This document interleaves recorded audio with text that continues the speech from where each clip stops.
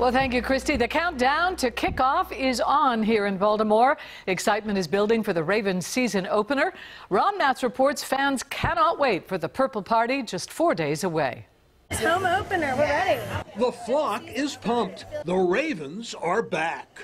I am so excited about the Ravens season. Just ask Jessica, who picked up her lawn sign this morning.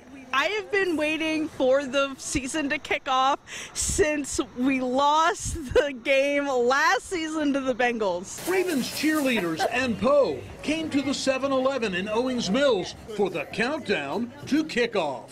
Painting the town purple. We're getting ready for the kickoff. Sunday's home opener against the Bills. We can't wait. We're really looking forward to it.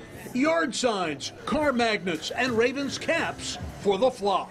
Got myself a yard sign, a, uh, a hat that'll make the guys at the garage jealous with, and uh, a sticker for the car. The Ravens also giving you a chance to win two tickets to the home opener against the Bills.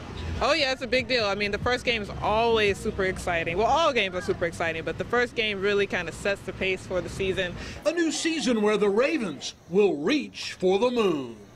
I think they're going to do good. Preseason games were good. I think we got a winner this year. Go Raven! Here you go, Jay. Check this out. Oh, wow. Look at that. Yeah. Just for showing up to get your coffee this morning. Thank you. Appreciate it. Jay, you're looking good. Thank you. Ron Matz reporting for WJZ.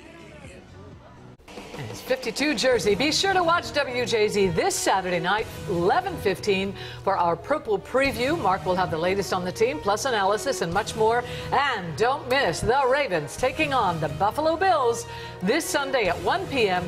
right here on WJZ.